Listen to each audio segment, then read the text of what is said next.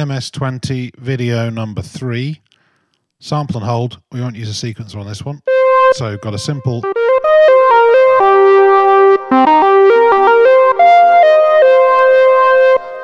So we've got the two oscillators on. One there. One there. So we've got a square and a triangle.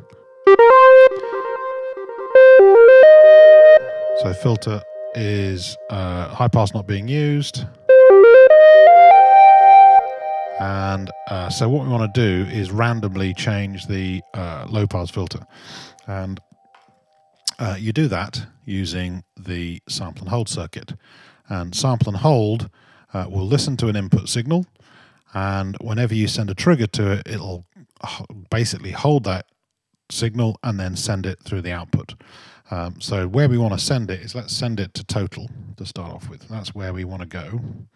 Uh, and what do we want to trigger it with? Well, let's use the effectively the LFO, the modulation generator, and uh, we need a probably a square wave trigger, and we'll feed that into the clock. And where are we going to get a random signal from? Well, random signals are created by noise. So using a very colourful cable, is that long enough? Uh, yeah, it is long enough. I'll take the white noise and feed it into, in fact, I'll take the pink noise because I've got a pink cable. And I'm going to feed that into the, uh, uh, the sample and hold circuit. So now when I do that, nothing happens because I'm not routing anywhere. I'm going into total, which means I can use any of these um, uh, uh, modulation sources and uh, increase this and I'll you'll find it will send a random signal based on this clock to uh, to the uh, to the uh, it'll send a random signal to the low pass filter. Here we go.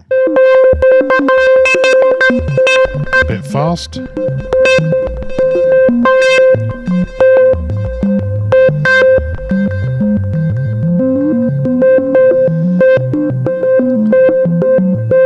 That's quite cool. No, so the trick with this is if you have the modulation generator in the middle, it's nasty. So you need to have it in the far right, so you get a little little ping.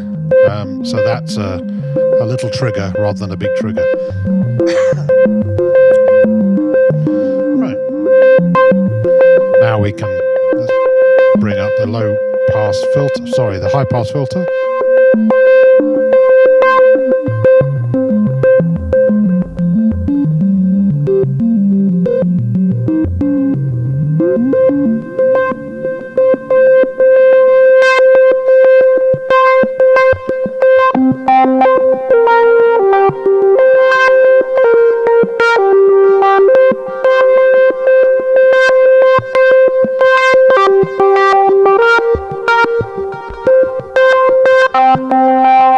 There you go. Sample and hold. Oh, before we go, uh, you can also then route that to anything you like.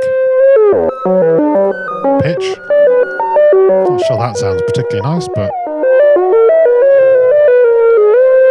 Or instead of actually sending it uh, to total, uh, you could also route it directly to one of these using this. So I could take the low pass filter and put it in there. And so that will now that's interesting.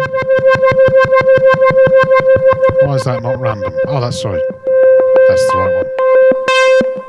So when you route things into these inputs, this is uh, turned on using the lower button, and the upper one is taking the input directly from the mod modulation generator.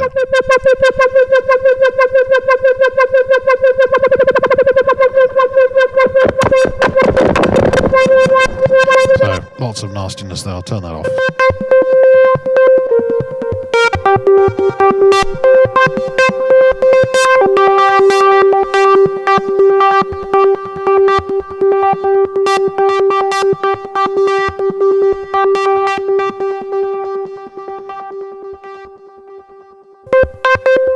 Lovely.